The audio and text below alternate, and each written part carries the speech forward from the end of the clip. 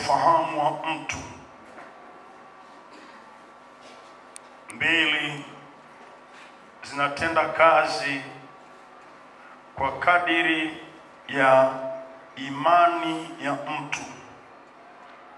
Imani ya mtu anayeombea au imani ya mtu anayeombewa, lakini pia zinatenda kazi kwa kufuata makusudio ya moyo wa mtu anayehudumu. Amen. Lakini sio hilo tu, zinatenda kazi pia kwa kadiri ya nguvu ya Mungu iliyo juu ya mtu, ambako tumeona eneo hilo wiki iliyopita. Amen. Watu wa Mungu, amina. Kwa kadiri ya nguvu ya Mungu iliyo juu ya mtu. Nilipokuwa Bigabiro, alinipa ushuhuda mmoja wa mzee Matete. Mtumishi mmoja alienda kumtembelea nyumbani kwake akiwa na gari, na bahati mbaya akawa ameiloki gari, lakini funguo amezisahau ndani. Yale magari acha sasa hivi, yale ya zamani kidogo, ambapo ulikuwa unaweka ile loki ndipo unabana mlango. Kwa hiyo kama hauna ufunguo umeusahau ndani, hakuna namna ya kuupata. Amemaliza kuzungumza na mzee Matete, anakagua mifukoni, haoni ufunguo wa gari yake, tafuta tafuta, haoni.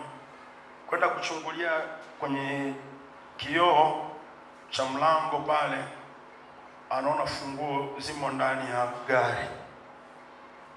Anavunjaje huo mlango? Akarudi kwa mzee akamwambia, funguo nimeziona ziko ndani ya gari na sijui nazipataje. Mzee akamwambia, nenda kafungue mlango uingie ndani ya gari.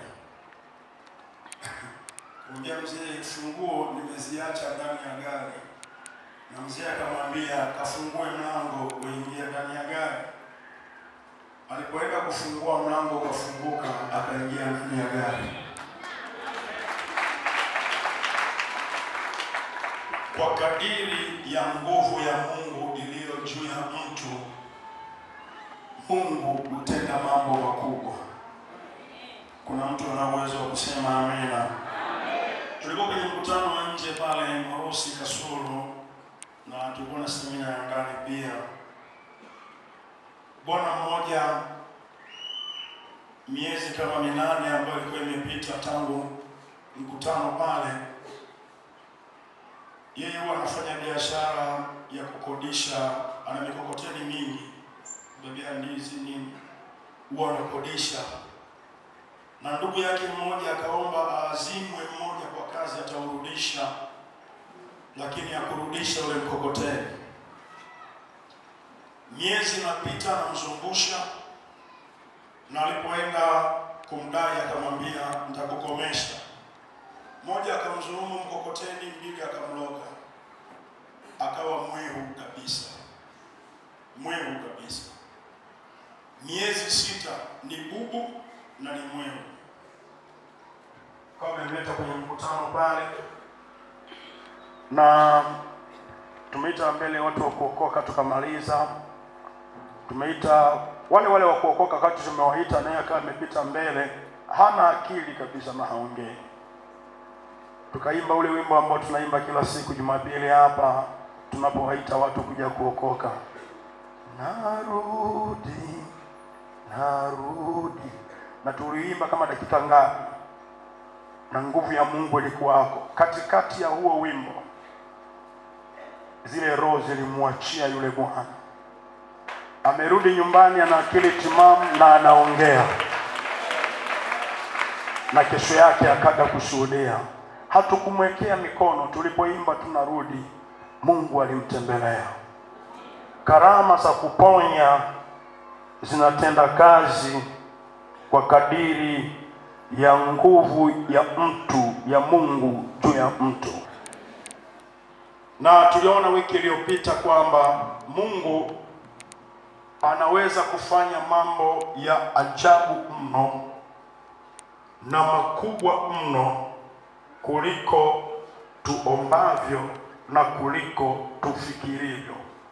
Unapoishia uwezo wako wa kufikiri na uwezo wako wa kuomba, Mungu anaanza kufanya ya ajabu mno kuanzia hapo ulipoishia kwenda juu, lakini ni kwa kadiri ya nguvu ya Mungu ndani ya mtu mhusika. Nikasema ni muhimu sana kuhakikisha betri yako ndani, mtu wako wa ndani anakuwa recharged, anachajiwa kila wakati.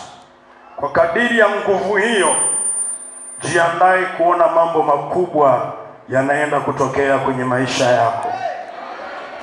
Mtu mmoja aseme amena kubwa kabisa. Lakini sio hilo tu, nguvu ya Mungu kuponya au hata kufanya kazi kwenye maeneo mbalimbali ya maisha yako, itafanya kazi kwa kadiri unavyotambua nafasi yako ya mamlaka. Hicho ndicho kipengele ambacho tutakiangalia leo. Kwa kadiri unavyoitambua nafasi yako ya mamlaka serikalini, kulingana na itifaki zao, kila mtu kwa nafasi anayoteuliwa ana mamlaka kwa levo yake. Mtendaji ana uwezo wa kukuweka ndani kwa masaa fulani, amepewa mamlaka hiyo. Kwa wilaya kuna masaa ishirini na nne yanahusika hapo mtu kukaa ndani, ni mamlaka serikali imeweka kwa namna hiyo. Katika ufalme wa Mungu kuna nafasi ya mamlaka tumepewa. Kuna amina moja ambayo mnaisema ni kama hamna mamlaka. Kuna mamlaka tumepewa. Yule tu ambaye anajua ana mamlaka, hebu aseme amina kubwa. Na nataka nikwambie, usiposema amina, maana yake unamwambia Mungu hauhitaji hiyo mamlaka. Kuna vitu unajifunza wewe mwenyewe, maanake unamwambia Mungu huhitaki hiyo mamlaka. Sasa utakuja wachawi watakukalia, hata ukemeeje, hauna hiyo mamlaka, maana hujasema amina. Ukisema amina, maana yake na hiyo hivyo. Wale wanaotambua nafasi yao ya mamlaka waseme amina. Unaona sasa, umeisema kwa sababu nimetaja wachawi. Ndio shida ya Wapentekoste. Inawezekana kabisa ukawa mwana wa Mungu na Bwana amekupaka mafuta, ila tu usiifahamu nafasi yako ya mamlaka kama mwana wa Mungu na kuitumia ipasavyo. Jamani, tusisahau kwamba Mungu alituumba kwa nini? Kwa sura yake. Na kwa nini, watu wa Mungu? Na kwa mfano wake. Kwa sura yake, maana yake kuonyesha tabia yake, na kwa mfano wake, kwa maana ya kwamba tunatembea na kutenda kwa namna Mungu ambavyo angetembea na kutenda akiwa hapa duniani yeye mwenyewe. Ametupa kukaa kwenye hilo eneo. Amen. Na tulipokuwa tunaanza series hii ya kufanyika wana, tulisema tumepewa mamlaka juu ya mbingu hii ya kwanza, kuanzia hapa juu ya ardhi mpaka kwenye mawingu. Tumepewa mamlaka hiyo, ni eneo letu hapo kucheza nalo, na liko chini ya miguu yetu. linasikiliza kauli ya midomo yetu, maana tunayo mamlaka. Kuna mtu ana uwezo wa kusema amina hapo? Eliya akasema, ninafunga mvua mpaka nitakaposema, kwa sababu amepewa mamlaka kuanzia hapa mpaka kwenye mawingu hapo. Akasema nafunga mvua, na mbingu zikapigia muhuri tamko la Eliya. Jamani, tunayo mamlaka. Mtu mmoja aseme amina yenye afya. Lakini sio hapo tu, tuna mamlaka kwenye mbingu ya pili pia, kuanzia kwenye mawingu kwenda juu, kwenye galaxies, kwenye sayari zote, nyota zote, mwezi, hapo kwenye anga, mbingu ya pili, ambapo shetani alipotupwa toka mbinguni akadondokea pale, mfalme wa uweza wa anga pale anapokaa, na kwenyewe pia hapana uwezo juu yetu, bado tunakanyaga pako chini yetu, katika jina la Yesu Kristo aliye hai. Kuna mtu ana uwezo wa kupiga kelele kwa Yesu Masia. Danieli anafunga siku ishirini na moja malaika anatumwa, mbingu ya pili pale inazuia, kwa sababu tuna mamlaka ya kutoboa hiyo anga. Vikosi vya malaika vilikuja kuhakikisha jibu linafika kwa Danieli, hakuna anayeweza kuzuia. Usiseme anga limefunga, mbingu ziko wazi kwa ajili yetu. Zikifunga, tuna mamlaka ya kuzifungua. Kama kuna mtu ananielewa, aseme amina iliyoshiba. Ukiingia kwenye maombi, hakuna mbingu ya kwanza wala ya pili yenye uwezo wa kuzuilia kile ambacho unataka kifanyike. Amen, watu wa Bwana Yesu. Amina, kanisa la Bwana. Tunayo mamlaka ya kutiisha. Kuna mfalme wa anga, tunamshusha, anaachia njia. Hakuna mbingu zilizofungwa kwa mtu anayemjua Yesu Kristo. Mungu akasema, nimewapa funguo, lolote mtakalolifungua limefunguliwa na mbinguni. Hiyo ni mbingu ya kwanza, mbingu ya pili, mbingu ya tatu. Ukifungua duniani, Yesu anapigia muhuri. Atakayejipendekeza, kuna vikosi vya malaika vinakuja. Hebu mtu mmoja aseme amina yenye afya. Haleluya! Lakini tuna kibali ndani ya mbingu ya tatu. Biblia inasema tumeketishwa pamoja na Kristo mkono wa kuume wa Mungu katika ulimwengu wa roho, ndani yake Kristo Yesu, mkono wa kuume wa Mungu Baba. Mungu akituangalia namna hii hakuoni huko duniani, anakuona huko mkono wake wa kuume. Ah, hebu sema amina yenye afya. Akikuangalia namna hii hakuoni huko Nyihogo, anakuona mkono wa kuume. Kwa hiyo hakuna cha mbingu kufunga, maana tayari huko ndani yake. Unafungaje? tayari huko ndani yake, zinafungaje? Kwa hiyo mbingu ya kwanza, mbingu ya pili, zote ziko chini yako, maana wewe umeketishwa mbingu ya tatu. Kuna amina fulani hivi ya kutokuwa nini? Nasema namna hii, mbingu ya pili, mbingu ya kwanza hazina uwezo juu yako, maana wewe umeketishwa ndani ya mbingu ya tatu. Kwa hiyo mbingu zingine zote ziko chini yako. Unapoomba usimwangalie shetani hivi, wala mbingu ya kwanza na ya pili usiangalie hivi kwa macho ya damu na nyama. Ingia kwenye ulimwengu wa roho, ziangalie kwa chini, maana umeketishwa mbingu ya tatu, unaziangalia kwa chini namna hii. Kwa hiyo unapoomba, unaomba kwa kuangalia kilichoko chini hapa duniani. Unapoamuru, malaika wale ambao mbinguni wako kwenye kiti cha enzi wanakusikiliza unaongea kutoka mkono wa kuume wa Baba. Kwa hiyo wanaachilia mashambulizi kwenda chini, na ndio maana Yesu akasema shetani na majeshi yake yamewekwa chini ya miguu yetu, tunakanyaga nyoka na nge. Maana yake hatuwakanyaji walio juu, tunawakanyaga walio chini. Mbingu ya pili, mbingu ya kwanza ziko chini ya mamlaka yetu. Kuna mtu ana uwezo wa kupiga kelele za shangwe kwa Yesu aliye hai. Una uwezo wa kuileta mbingu kwenye biashara yako, unaweza kuileta mbingu kwenye familia yako. Mtu mmoja aseme amina yenye afya. Hebu sema, ninayo mamlaka. Sema kwa afya, ninayo mamlaka. Mshike mkono jirani yako, mwambie ninayo mamlaka. Sio hiyo tu, Mungu ametupa mamlaka juu ya nchi hii tunayoikanyaga tuna mamlaka juu yake. Sio hiyo tu, Mungu ametupa mamlaka juu ya bahari. maziwa na mito yote, tuna mamlaka juu yake. Kwa hiyo hakuna majini ya baharini, hakuna mizimu ya ziwani, hakuna mapepo ya kwenye mito na mabwawa. Wote hao wako chini ya mamlaka yetu. Hebu angalia Zaburi sura ya nane, nianze mstari wa kwanza. Wewe Mungu Bwana wetu, jinsi lilivyo tukufu jina lako duniani mote. Sema wao. Wewe umeuweka utukufu wako mbinguni, vinywani mwa watoto wachanga na wanyonyao umeiweka misingi ya nguvu. Kwa sababu yao wanaoshindana nawe, wakomeshe adui na kujilipiza kisasi. Tatu, nikiziangalia mbingu zako, kazi za vidole vyako, mwezi na nyota ulizoziratibisha, mtu ni kitu gani hata umkumbuke, na mwanadamu hata umwangalie? Umemfanya mdogo punde kuliko Mungu, yaani akitoka Mungu unafuata wewe.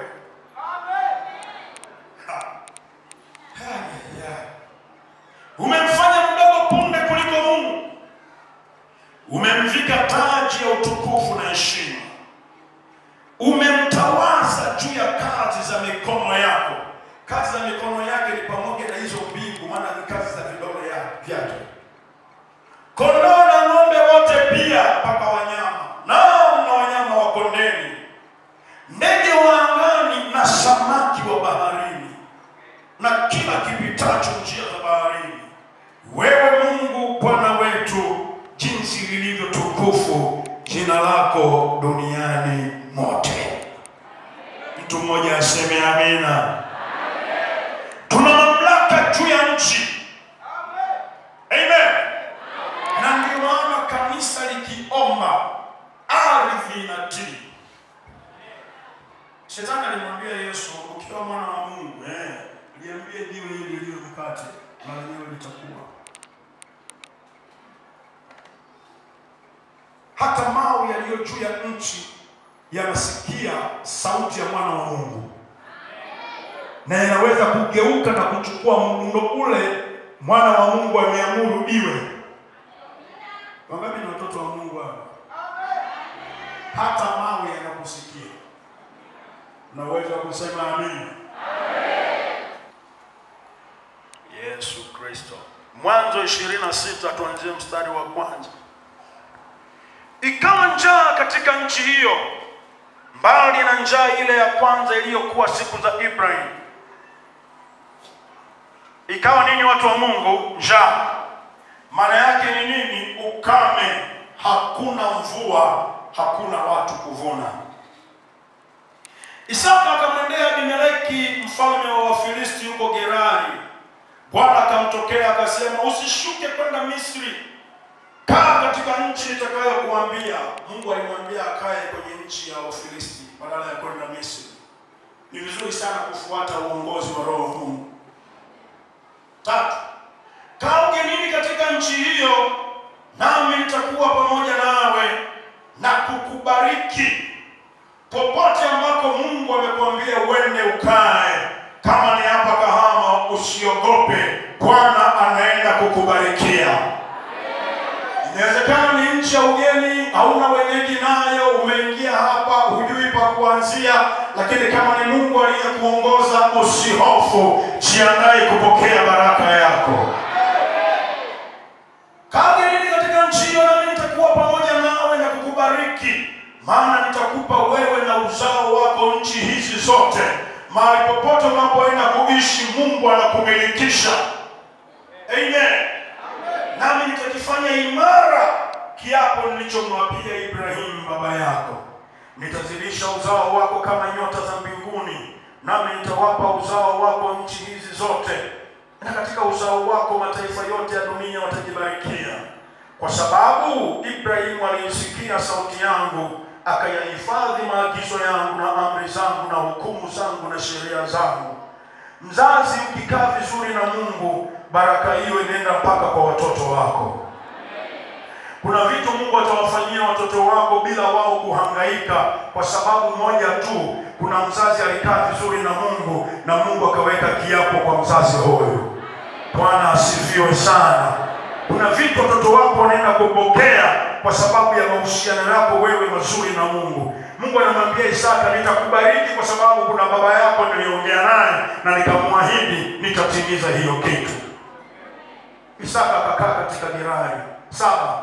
Watu wa mahali hapo wakamuuliza habari za mkewe, akasema ni ndugu yangu huyu, maana aliogopa kusema mke wangu, watu wa, watu wa nchi wasije wakamuua kwa ajili ya Rebeka, kwa maana alikuwa mzuri wa uso. Ikawa alipokuwa amekaa huko siku nyingi, Abimeleki mfalme wa Filisti akachungulia dirishani. Unaonaje unakuwa na mke mzuri mpaka rais wa nchi anakuja kuchungulia dirishani kwako? Akachungulia dirishani akamwona Isaka anacheza cheza na Rebeka mkewe. Bahati mbaya sio somo la ndoa, ningeuliza hapo, wewe mnacheza cheza? Tisa, Abimeleki akamwita Isaka akasema, yakini huyu ni mkeo, mbona ulisema ni ndugu yangu huyu? Isaka akamwambia, kwa sababu nalisema nisife kwa ajili yake. Abimeleki akasema, ni nini uliotutendea?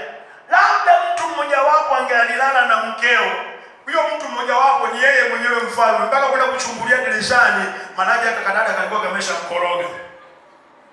Angalilala na mkeo bila kufikiri, nawe ungelitutia hatiani. Basi Abimeleki akawaamuru watu wote akisema, amgusaye mtu huyu au mkewe lazima atauawa. Angalia kumi na mbili. Isaka akapanda mbegu katika nchi ile.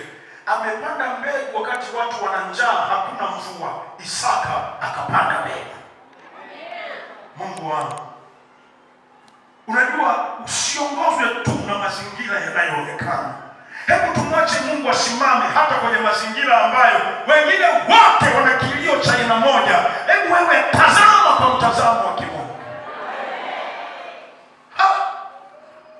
Akapanda mbegu katika nchi ile, angalia, akapata mwaka ule vipimo mia kwa kimoja.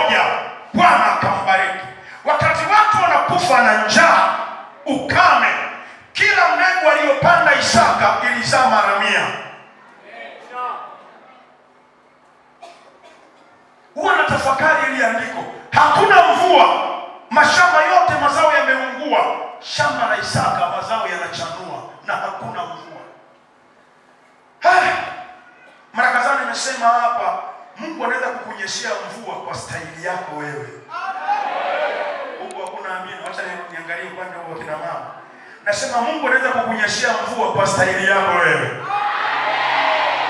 Wangapi unajua kwamba mvua iliyoko juu imetokea chini? Jua likichoma, maji ya chini yanapata yanakuwa mvuke, yanapanda juu, yanakutana na baridi, yanaganda, baadaye yananyesha, inakuwa mvua. Kuna mtu ananielewa mahali hapa asubuhi ya leo? Hebu mpe Yesu amina na makofi yaliyoshika vizuri sana. Kuna namna Mungu anaenda kutenda kwenye maisha yako kwa namna aliyetarajia. Wakati watu wote wanaangalia anga jeupe chini kwenye mazao ya Isaka, mvua inanyesha.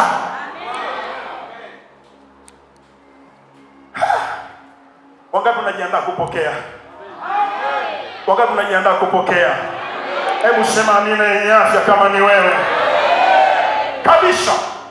Jiandaa kwa namna ile ambayo haukufikiria.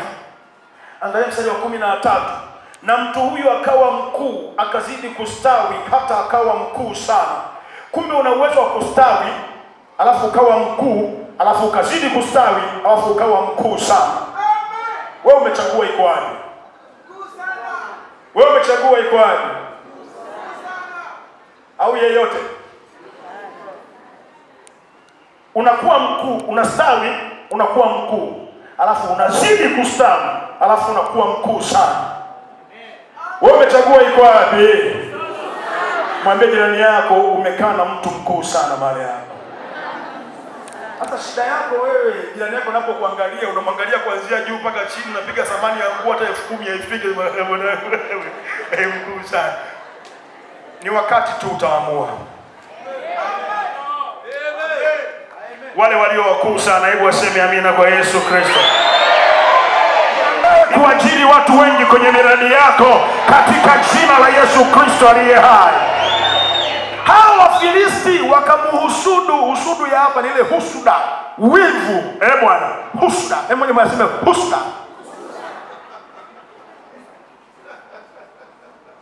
na vile visima vyote alivyochimba watumwa wa baba yake siku za ibrahimu babaye wafilisti walikuwa wamevifukia wakavijaza kifusi. Abimeleki akamwambia isaka utoke kwetu. Unabarikiwa mpaka rais wa nchi anasema ondoka kwenye nchi yangu. Hujawahi kuona unabarikiwa mpaka unahama kijiji kwa sababu unahisi muda wowote watakuvamia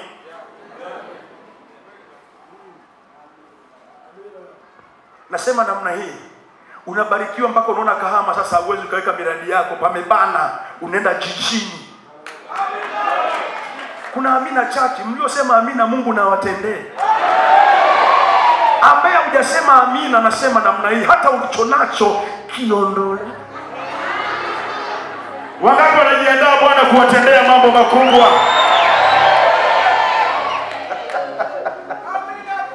Kristo yesu mfalme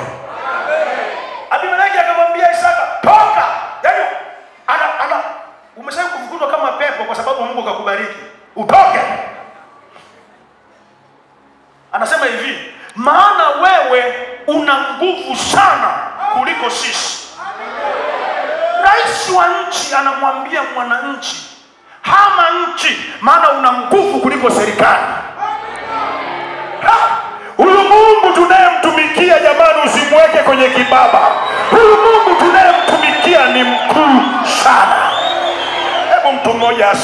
amina kwa yesu kristo.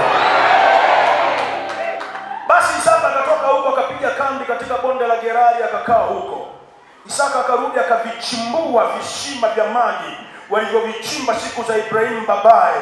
Maana wale wafilisti walikuwa wamevifukia baada ya kufa kwake ibrahimu naye akaviita majina kufuata majina aliyoviita babaye. Kuna watu hapa mlizaliwa ndugu zenu baba yako ana uwezo mzuri baadaye akafilisika akayumba. Mungu anaenda kukutumia wewe kurudisha baraka hiyo kwenye familia yenu. Yale yote ambayo baba yako aliyahangaikia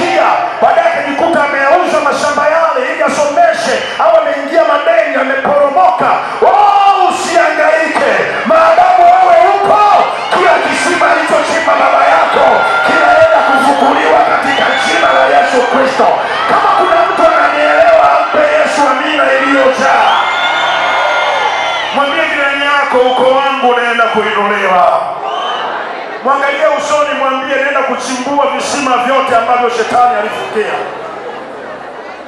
kabisa. Usihangaike kwamba baba asingefilisika isingekuwa kaka mkubwa.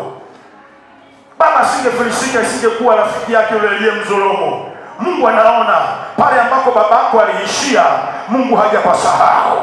Pale ambako familia yenu ilifika mungu hajapasahau. Ni nani anaenda kurejesha? Ni wewe unayemjua mungu anayeenda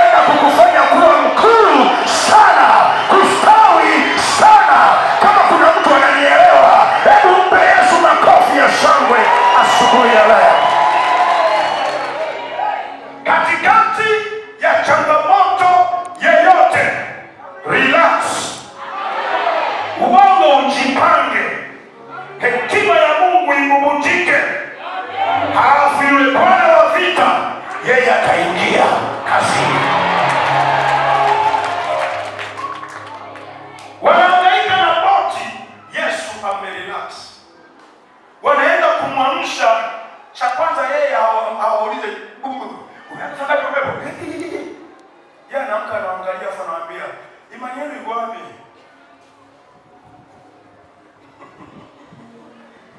imani yenu iko wapi halafu mwanaume akaangalia ile dhoruba akasema dhoruba kimya.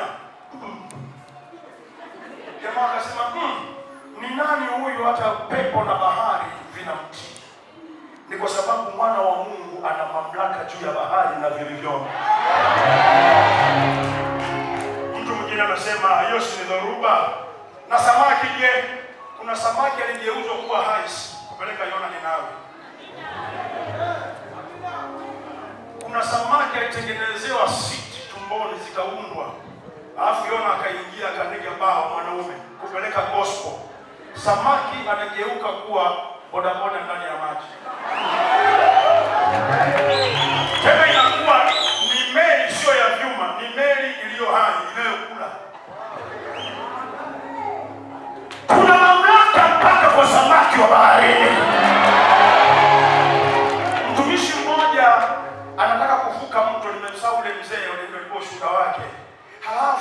mto umefurika mpaka kingoni, hana namna ya kuvuka. Alipoomba Mungu akaona mamba anakuja, mamba akaja akageuza mkia mpaka pale kwenye ukingo wa mto, anatulia namna hii. Mzee akaangalia akasema, bonge ya usafiri. Akashika mkia wa mamba akaingia ndani ya mto, mamba akaenda mpaka upande wa pili wa mto, akageuza mkia akamtusha abiria, gari ikaendelea na safari zao.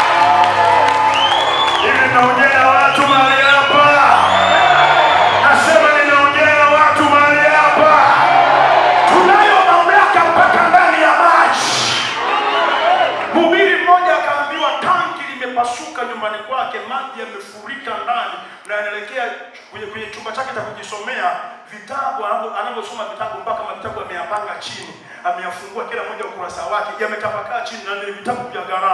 Alipoambiwa namna hiyo, akasema kwa jina la Yesu. Unajua nini? Alipoenda nyumbani kote anaingia maji yako mpaka huko vyumba vyote maji yalipofika kwenye mlango wa chumba kuingia kwenye chumba cha vitabu yakasimama hapa, yanaingia huko kwa wajinga wajinga, soksi na nani, sio kwenye vitabu vya neno la Bwana.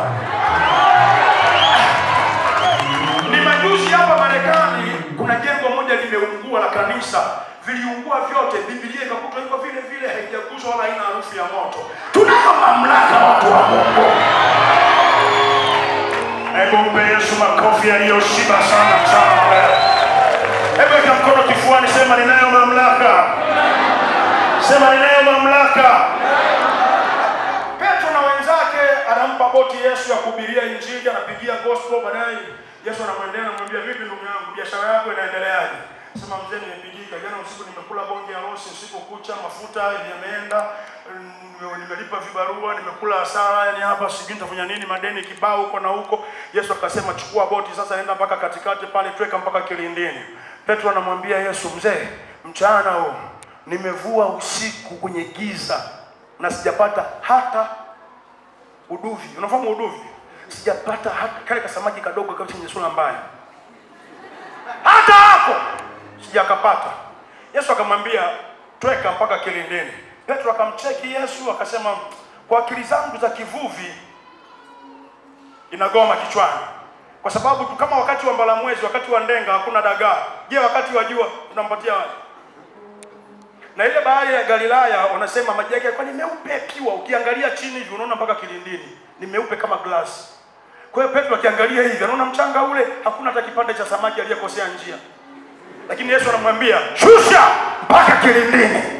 Petro hajaokoka, hajamwamini Yesu, akamcheki Yesu akapiga hesabu, akamwambia mheshimiwa, eh, kwa neno lako nashusha nyavu. Oh, upande huu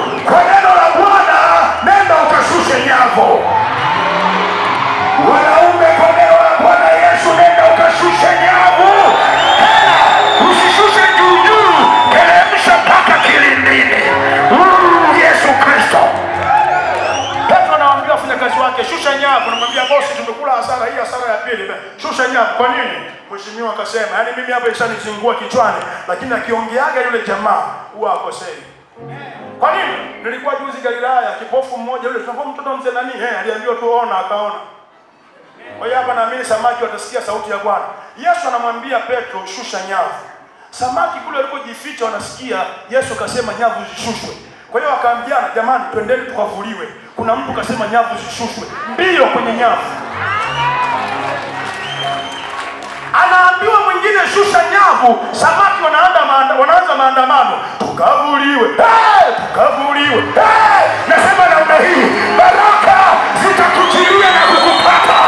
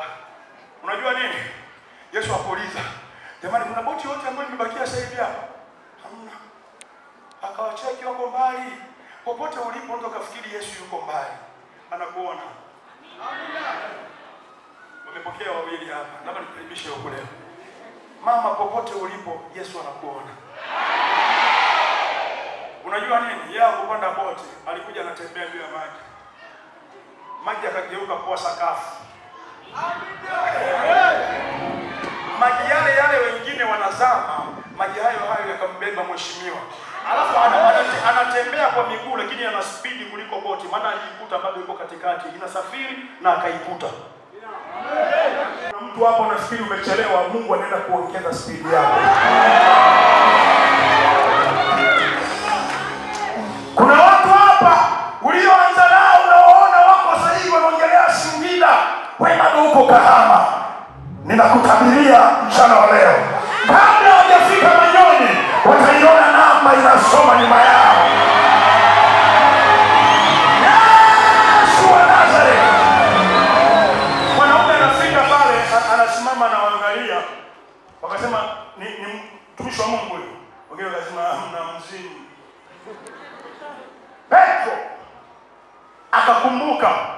Jamaa sasa niambia nitoke mpaka kilindini nikamwambia kwa neno lako samaki wanakuja na nilivua samaki mpaka nikataka kuchanganyikiwa gari zilizobeba zote zilitaka kupinduka kwa mzigo mzito wa overload, kila sehemu akipita mzani ni kupigwa faini Petro akasema huyu jamaa ukimwambia kwa neno lako, neno lake waga lina siri fulani. Akasema tumishi wa Mungu, eh, ikiwa ni wewe niambie nije juu ya maji. Yaani Petro sema hivi, sitaki ni mvuvi lakini hakutaka kupiga mlizi. Anasema ah, ah, leo siolanishi nguo zangu. Si ni wewe? Eh, niambie nije. Yesu akasema njoo.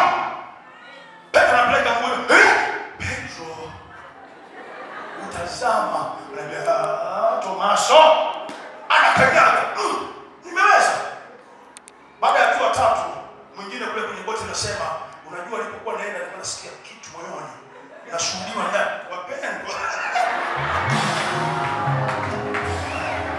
Nilisikia kabisa nini nilisikia.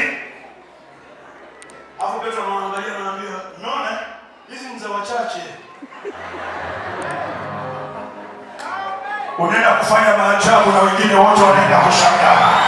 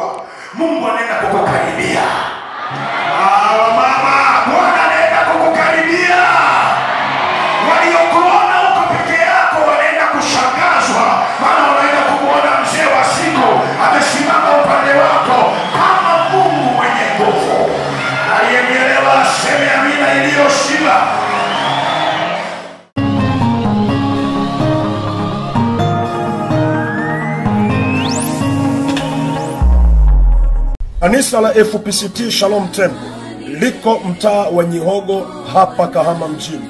Unavuka pale njia panda ya Dolphin, unaelekea kama unakuja halmashauri ya mji. Ukishavuka halmashauri ya mji, mkono wako wa kulia utavuka barabara ya kwanza ya vumbi na barabara ya pili ya vumbi. Barabara ya tatu utakata kona mahali panapoitwa Mnazi Mmoja, na kisha utavuka studio ya Kichomi na utakwenda kama hatua ishirini au thelathini utakata mkono wako wa kushoto kona ya kwanza tu, na ndipo utaliona kanisa kubwa mbele yako. Basi utakuwa umekwisha kufika FPCT Shalom Temple. Nitafurahi kuwa pamoja nawe, nitafurahi kututembelea, nitafurahi nikikuona tukiabudu pamoja. Mungu akubariki sana.